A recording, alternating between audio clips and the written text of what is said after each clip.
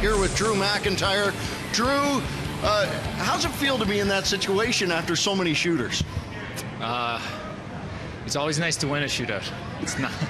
I really don't like them when I lose, but when I win, I really like them. So uh, it's tough. It's you know they uh, they came out in the first and uh, you know got a couple couple goals and uh, you know I got a few shots there, and then it was a while since I had a few shots and was busy. So uh, it was those kind of games are tough uh, to get thrown into a shootout, but I like the way that I played it. you know I got lucky on a couple of them the winning save uh, coming up. Peterson, he, he takes the shot, and uh, you come up. That that moment that you make that save, uh, what's the first thing that enters your mind?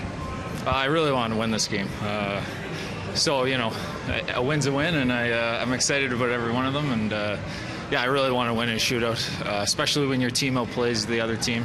and deserves to win the game. You, you, really don't want to lose that for your team, and this was the example tonight. Really didn't want to lose it for them. Take a look at the monitor, if you will. I don't know if you could see that, but uh, you get the, uh, the, you get the one that is uh, the goaltender's best friend, the one off the post. yeah. How, yeah, well, how'd that look? I don't. That shouldn't have counted anyway because it hit him again. So it can't hit him twice. Like I made the save and it hit him in the leg and then. So I hope they wouldn't have counted that if it had went in. Uh, but yeah, I got lucky. Drew, tell me about the, the pace of the game and, uh, and how it was going for you. You faced 21 shots, but uh, it seemed like you were busier than that. Yeah, there's a lot of, uh, they missed the net a lot. Uh, you know, so there was a lot of work. Uh, there was more work than a 21 shot night sounds like, but uh, anyway, the guys played awesome. we really weren't happy with our first.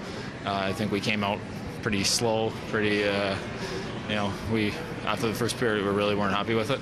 Uh, but I love the way that we came back and we battled. Drew, thanks for this and congratulations. Thank you.